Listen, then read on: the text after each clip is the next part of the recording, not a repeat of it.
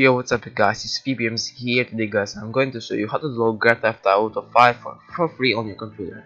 So basically this is not the full version of, game, of the game because the full version is going to be launched on March 24th to 5 to 2015. So bas basically this is about 5.2 gigabytes of file, right? So let's go into it and let's download this game. So first of all, I'm going to show you guys the download the link, the download link where you'll get the, the GTA 5 just copy that. I'm gonna put uh, this link in the description below.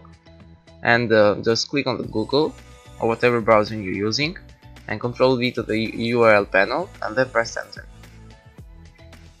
This is gonna load up the Grand Theft Auto PC game uh, download gamestorrent.com so you can see the here uh, some description of the game and uh, you can see also the comments. Were great sit please fellow pirates love this game. Thanks again. Best game ever. Thanks so much.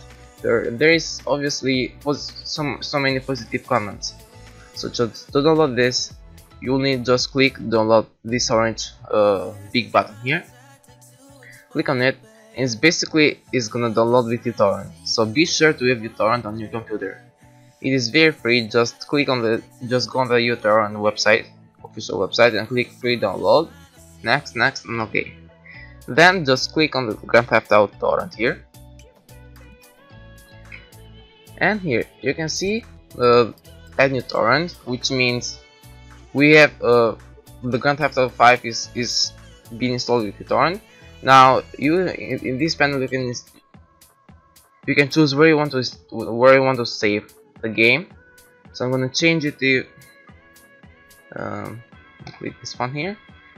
I'm gonna save to my D drive here I'm gonna name it as um, GTA 5 right?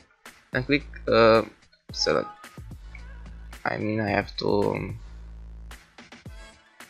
alright be, be right back alright guys here I'm back. I just created another folder named GTA 5 on my D drive and let's go in it.